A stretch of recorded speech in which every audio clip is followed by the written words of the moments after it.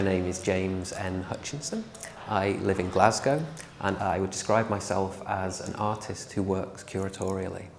So some of the common threads that kind of appear throughout the show, I guess would be kind of ideas of um, trying to resolve what kind of um, authenticity might mean within a kind of uh, within a kind of individual practice. So what you see throughout the work is kind of a lot of copies or replicas or even forgeries of other people's work.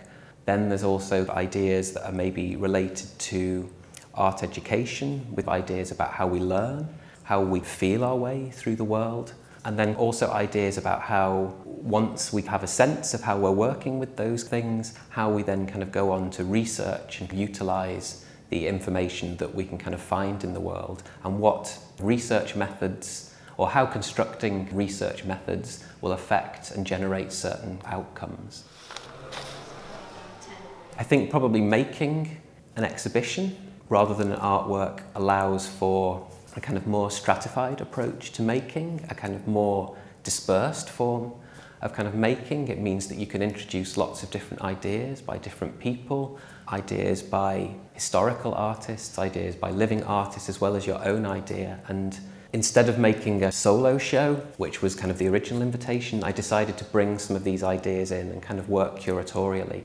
In the atrium is um, a work called the Manenberg Tornado, which I made last year. It's uh, 26 botanical drawings that are based on an earlier set of botanical paintings that were made by a woman called Margaret Stewart, who uh, lived in Cape Town between 1834 and 1836. She spent the time that she was out there exploring the Cape and producing this portfolio of native species.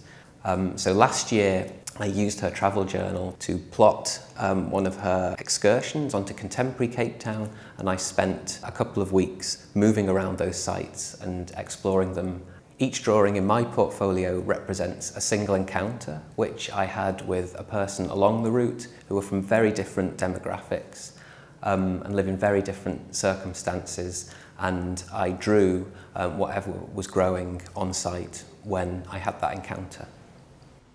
So There are a number of historical works in the show.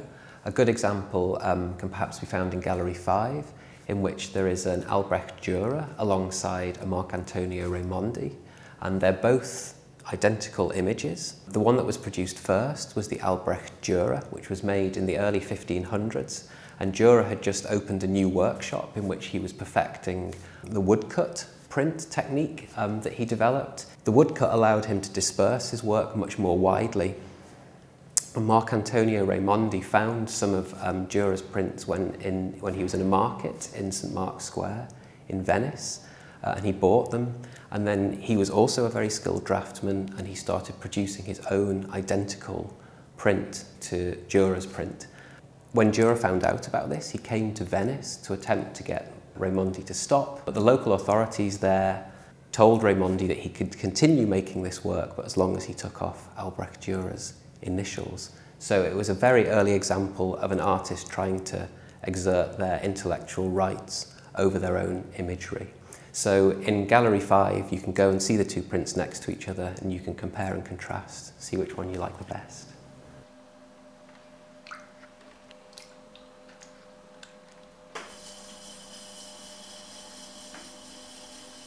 There are also a number of contemporary works in the show that are made by other artists who I would consider to be part of my peer group.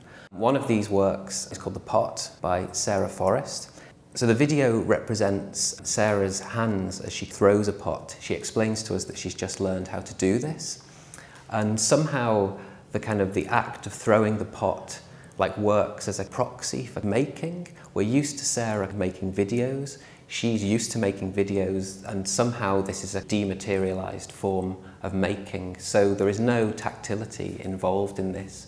And the video somehow represents her frustrations or her desire to touch the thing that she's making. The kind of paradox, I guess, being that the final work is still a video and we don't ever get to see the pot that she made. I guess what I'd like people to take away from the show is a feeling of how difficult it is to kind of uh, to construct a very clear eye, a very clear subjective position.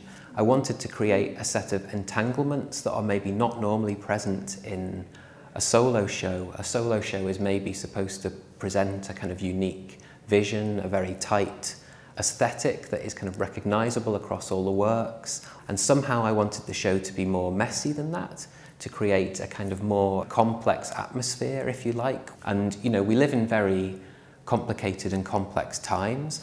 And there are many dangerous people in the world who are trying to make the world appear simple and make the kind of solutions to the to difficult problems appear simple. And I guess I wanted to bring a little bit more difficulty and complexity back into the world.